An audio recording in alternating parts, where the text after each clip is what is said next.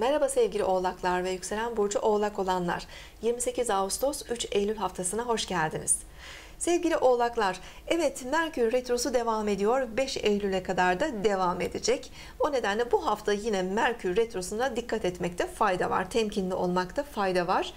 Ee, Mars Aslan Burcu'nda ilerliyor biraz parasal harcamalarınızı bu dönemde arttırabilir. Hafta sonuna doğru da gerek aile için gerek yakınlarınız için bazı böyle beklenmedik harcamalar yapabilirsiniz. Buna dikkat edin.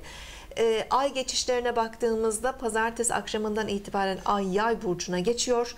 Biraz daha böyle içe dönük enerjiler var. Ee, özellikle perşembeye kadar olan süreçte salı ve çarşamba günleri yalnız kalma eğiliminiz artabilir. Bu demek değil ki tabii bunlar e, verimsiz günler olacak. E, yalnız kaldığınızda da mesela yalnız başınıza yapacağınız e, özel işlerinizle ilgilenebilirsiniz. Daha iyi konsantre olacağınız için ciddi konularla uğraşabilirsiniz veya tefekkür gibi böyle ruhsal manevi konularla da rahatlıkla ilgilenebilirsiniz.